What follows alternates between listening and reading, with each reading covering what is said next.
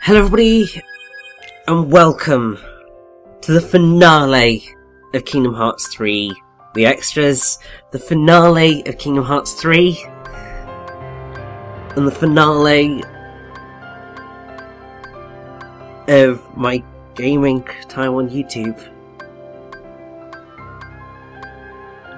Ten years has led me to this. And there's very little that we've covered, that we've not covered in the game at this point. And so, initially I hadn't been planning on showing this, but I just thought, you know what? What better way to say goodbye to this playthrough, goodbye to sort of my gaming you YouTube journey story? is to go through the memory archive, to look back at the stories that have with Sora and his led us to this point. The three are inseparable. And they believe another And world is waiting honestly, beyond the sea.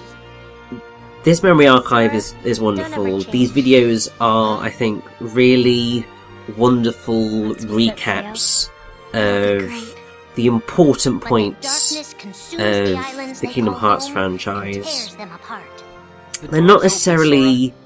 They don't cover go to the outside everything that you possibly need to know, but they're really good at wakes up in an unknown world. recapping long, your memories, recapping the important points, mostly, named Donald, and a knight that you need to know of the key events throughout the Why don't you come series. With us? We can go to other And- worlds on our vessel. That's just They embark on an adventure really, and make really countless friends really They cool. do seem a little different. Where are you from? and a few enemies. And Ah, the boy who holds just- the key. This world will be plunged Looking into back darkness. After coming this at it far, all, there's no way we're gonna let that happen. Just this has been just such grasp the power of the keyblade, an amazing, he comes face to face with his amazing journey to go through. Like, It is I, handsome, I've the over the course of my time on YouTube, I have done now I don't need the 62 playthrough I don't need projects. Some of them are my are power. reduxes, some of them uh, are But that's just the sort of just not, but Little do Sora and his friends realize what fate has in so much of that has been Kingdom Hearts. I mean, it took me until uh,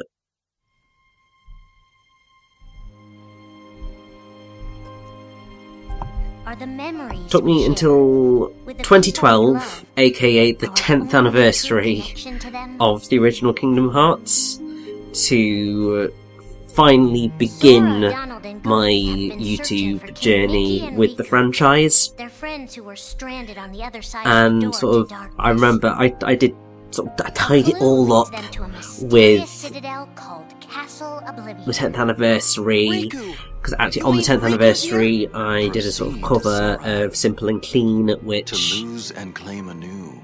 I really liked To claim anew, only to lose. and then it took me a while to return back to Kingdom. Hearts but obviously I managed it most precious memories with begin to slip away. Kingdom Hearts 2 and that was tricked by Marluxia and a delight, mysterious organization who are but obviously that was also a very unaware that the events of his It was a hard have been rewritten playthrough for me to do that one because races to the it top the was castle to save a girl named Naminé. just after Sora, my what happened to you?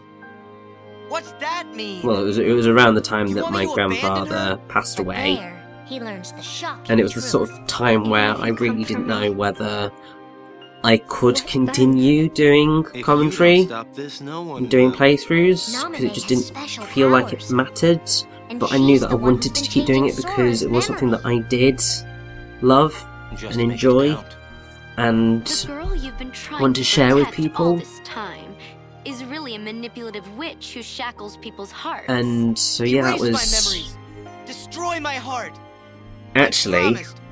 I'm pretty sure I'll always protect the you. You have to the believe introduction part I did because I used to do intro videos to my your playthroughs, like little weak. music videos, and that actually I think went up me. the day before my granddad died. So yeah, that that one holds a This would be very special place for me as well because 13, it was hard, but I his made it through, despite the fact that really that was when my depression really did kick into high gear, and I'm I'm very proud of myself for that. And then, obviously, we got to what has been Now, for a moment, the last age on this play on this channel is when I knew that Kingdom Hearts 3 was coming, I wanted to show the story so far. I wanted to cover every single Kingdom Hearts game that I physically could. Blank slate. Roxas And starts counting the days, determined to never forget In just over a year, He and his friend Axel so a year and a couple of months, we covered Birth by Sleep Final Mix, Re:Chain of Memories in cutscene commentary form, 358 over two days in cutscene commentary form, Recoded in cutscene commentary form, Dream Drop Distance, the HD version, Key back cover and cutscene commentary form, and 0.2 Birth by Sleep fragmentary passage. And now, at last, here we are with Kingdom Hearts 3 completed, have been told they don't have and all of the mainline and yet it's strange. games here on the channel. they care about each other. And that's just a wonderful, wonderful, wonderful and I are thing to feel that Well, if you're it's a franchise that I've seen through from beginning to end, of course you're my and. I'm so all of this incredibly proud of that. Forever. And what I also really like is that excluding the introductions, my Kingdom Hearts 3 playthrough is exactly the same part length as my Kingdom Hearts 1 playthrough. They're both at 72 parts, secret. And Is it that I'm not that's just a really nice uh, sort of sense of is a puppet bookending. created to duplicate your powers. Is that she only exists to seize The sort of control it just came back power, round on itself. Both of them and yeah, just a franchise. I, I just love the fact that I've had the chance to share this franchise, which her? means such a lot to me with all of you guys. That's just been a really wonderful thing, and I've also just really loved going back over it won't be you the fun that I've had with Kingdom Hearts 3 and sharing that joy really have no hearts. and everything that that has been with you as well, and hopefully You can't turn on the organization. You've you get on their bad seen, side and they'll uh, destroy you. seen where I'm coming from on That's my views true. on this game and everything that sort of that seemed sort of I suppose maybe a hold back, through fair through some of the divisiveness that What's the game has. Seeing where someone who likes the game is coming from at the same time as seeing sort of where those flaws do come in, where those criticisms are definitely valid. Keep running. And I'll always be there to bring you back. The loss. Your next I, Roxas. it's just been yeah a, a fun ride. Don't you see? and also sort of I suppose I was created. whether it will have been or not Yes, is a different kettle of fish but See, uh, maybe a somewhat emotional ride I'm glad. I mean obviously there's been things like this throughout the entire series I mean that Oh, that scene and of course, Axel too. with music pour la tristesse de Xion just You were both killed me every time forget. and That's the truth. yeah just th- this entire journey But I believe there's hope for them.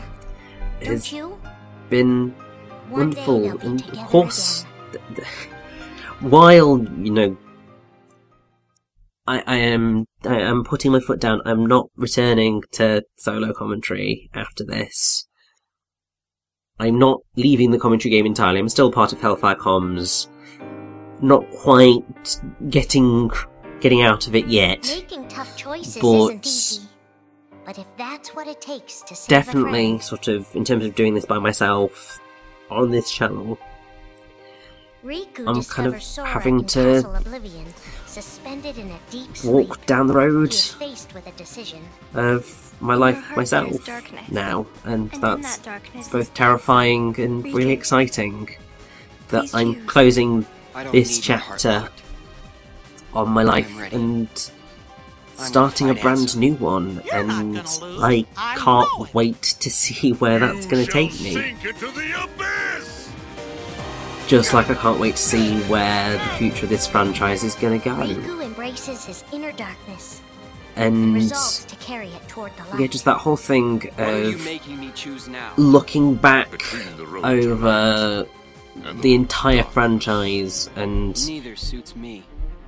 My taking the middle road. entire YouTube career, which I mean, I'm I'm going to do a little bit more of in my very final, It's the road to final, final, final video on this channel. paths with Xion, who attacks him with a false keyblade.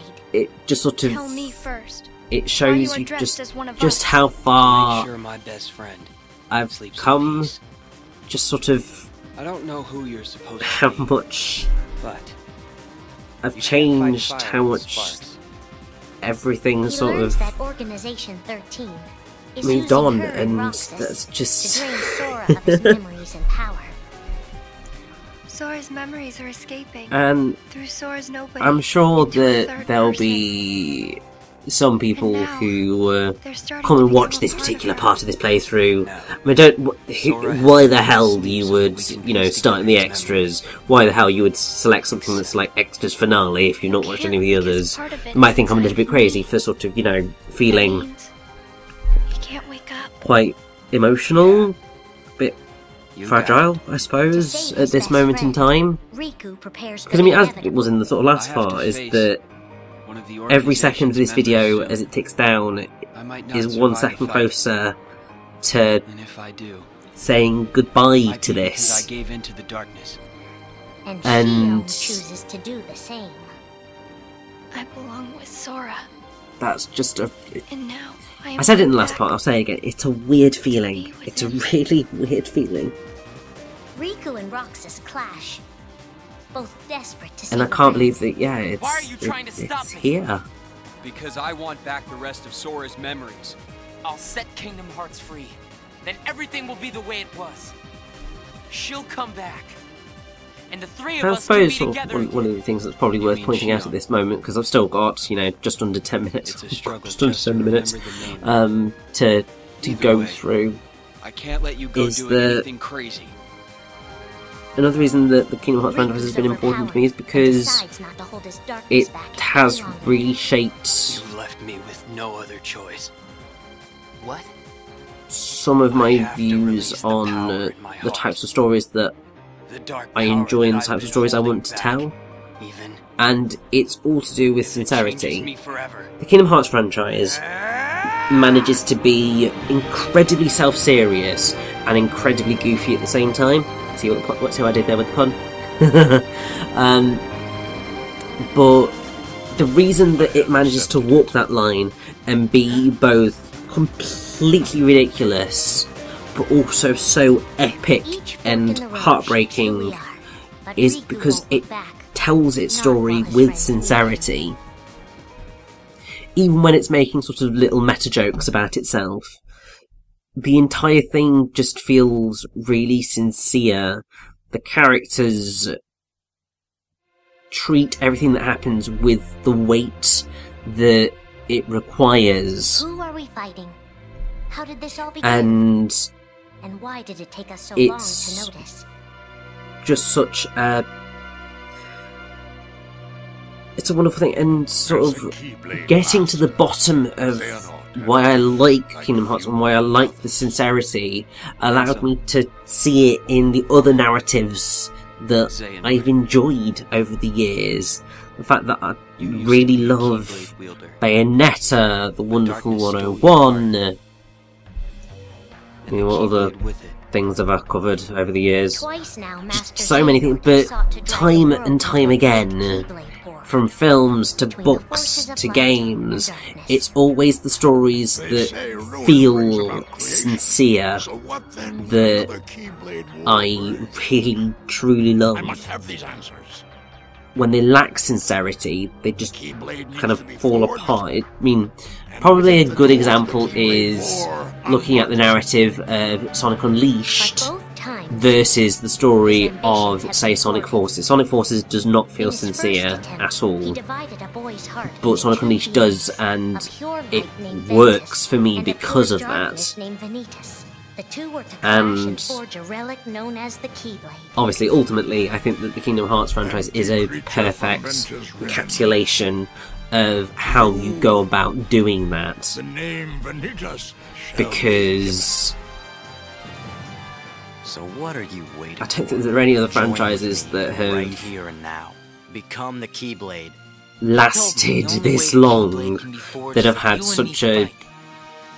Well, guess what? An incredibly insane Three students of story Master throughout all of the games. brother in training, rose up in order to It's stop the it, it yeah, it's, it's just in, it's ridiculous, really. I may have to fight Vanitas And the fact that it's managed to maintain that sincerity even through moments where you probably were not thinking that uh, I want you the team at Square Enix were being that sincere, you know, with the, the not delivering on Kingdom Hearts 3, uh, the general.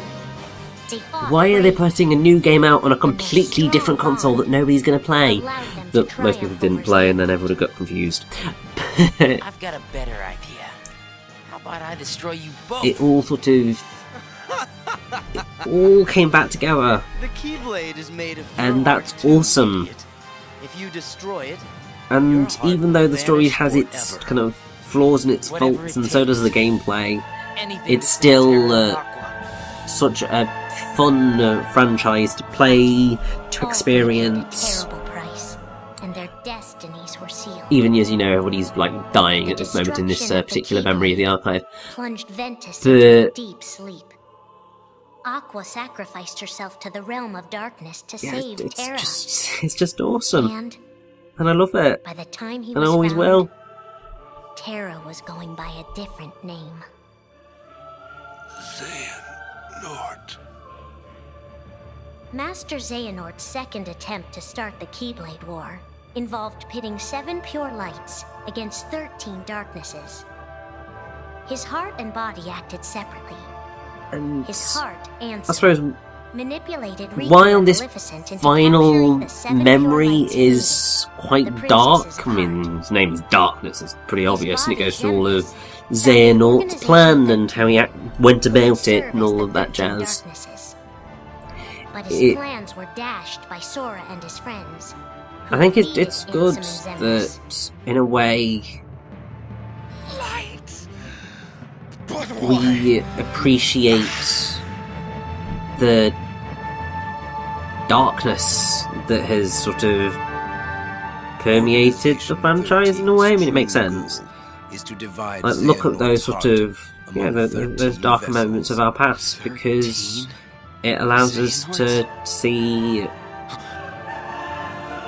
when the light has been what is good, when we've had sort of that light and that enjoyment and that Now, wonder. Master Xehanort has warned of a third attempt. The to shadow start makes his the war. light brighter, which I know is not exactly how it's not how it scientifically works, but it does. And when the good sort of outweighs the bad for someone, that's when it All of it becomes special. When you're willing to forgive things, forgive flaws and faults because you love something that much. That's the hallmark of a, a good franchise. I feel. Obviously, the best franchises are those that don't make those mistakes, but everything has its has its own flaws. So uh, still, but um, as it says there, the end is near. Obviously, we've seen how that story ends, how the uh, Xehanort saga comes to its conclusion. But obviously, I couldn't finish this playthrough on uh, that note. So, we're going to end it on uh,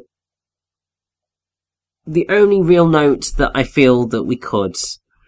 The secret ending of Kingdom Hearts 3 in all its shocking and crazy wonder. Because at the end of the day, I think this is basically how I'm going to feel tomorrow. When I sort of wake up and realise that this is all over. It'll definitely be sort of how I'm feeling when I've recorded my final video. That oh god, it's it, it's oh. it's going to be a very weird time for me. Oh.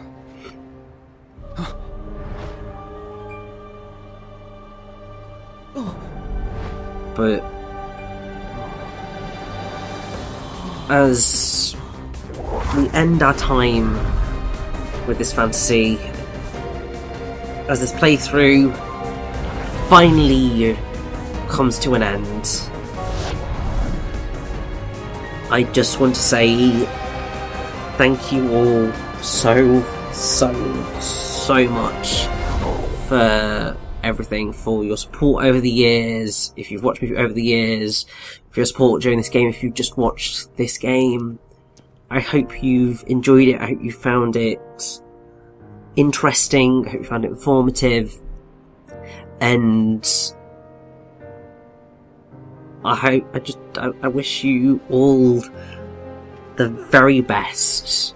You're all amazing. You're all important. You all matter. And I cannot thank you all enough. Reconnect Kingdom Hearts. Thank you.